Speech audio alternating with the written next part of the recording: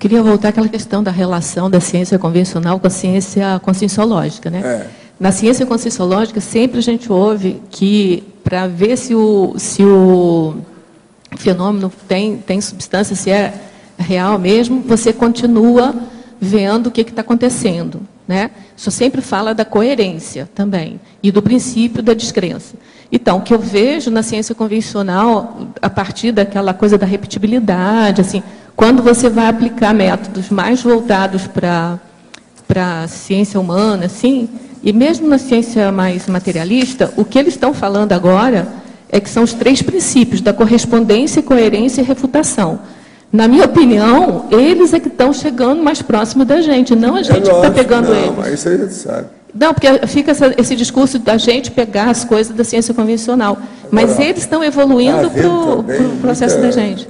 Muita crítica aos processos dessas teorias que eles têm, né? o das cordas, a opção de coisa, o problema do outro universo, aquele multiverso. É, pois é, aquilo não tem como repetir. Eles já estão agora acabando com isso, que eu sempre achei isso uma besteirada.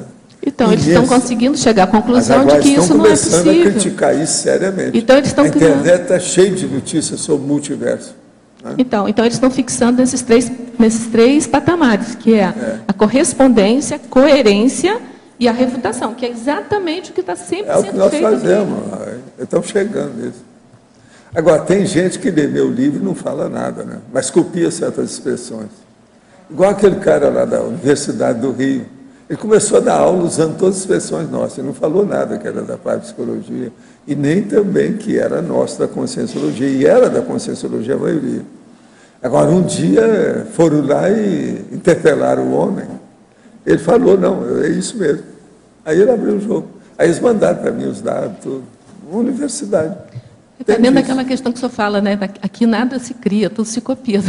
Tudo se copia, chacrinha. Porque eu já, eu já vejo essas três. Agora aí, e eixos. também, Ronak, quem quer banana? É a hora de julgar Eu banana. já vi, assim, a primeira vez que eu vi esses três eixos, assim, ó, já tem muito tempo, antes de eu vir morar aqui. Então já estavam É. falando nisso, né? Mas aí quando eu cheguei mais na conscienciologia, que eu vi que era exatamente o que está É. sempre falado aqui.